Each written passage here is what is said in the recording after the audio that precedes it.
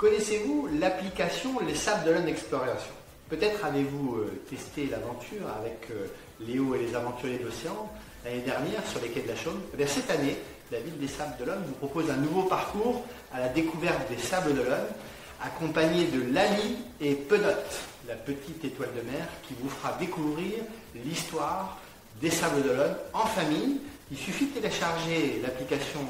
les Sables d'Olonne Exploration et de cliquer sur euh, Lali et Penotte et vous partagerez 1h30 à 2h de joie et de découverte en famille au Sable d'Olonne. Alors, suivez Lali et Penotte